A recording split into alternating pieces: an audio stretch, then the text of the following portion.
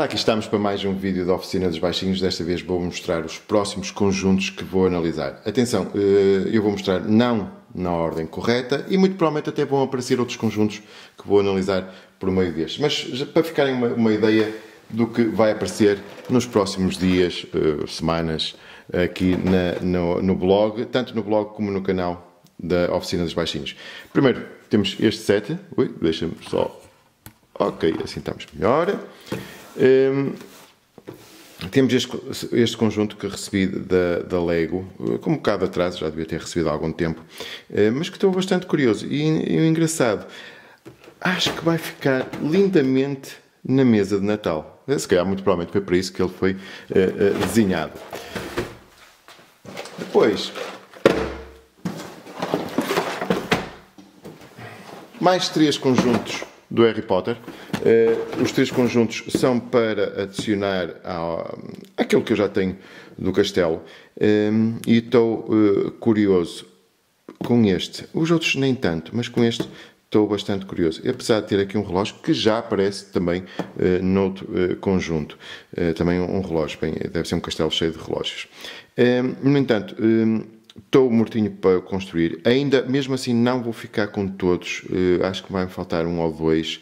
Uh, mas pronto. Uh, provavelmente, se não aparecer mais nenhum, entretanto, eu acho que vou finalmente fazer um vídeo com todos os sets que tenho deste sistema que me está a agradar imenso. E depois vou, claro, vou desfazer tudo, porque eu acho que a nível de peças, este, este, esta série de conjuntos são excelentes.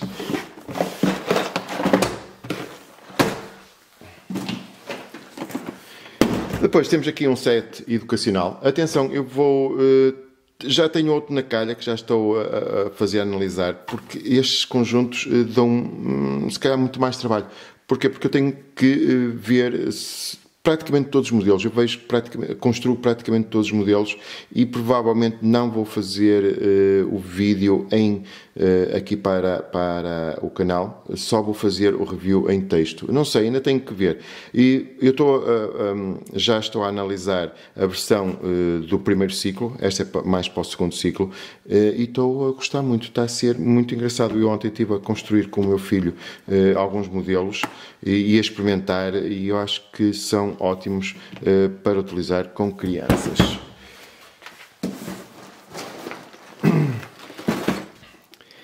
É, o set não é propriamente novo uh, e aliás eu construí a primeira versão do Taj Mahal em 2008 construí fizemos a estreia europeia desse conjunto na 0937 num evento que fizemos em Viana do Castelo e na altura eu tinha gostado muito, mas eh, a construção já era algo repetitiva, etc.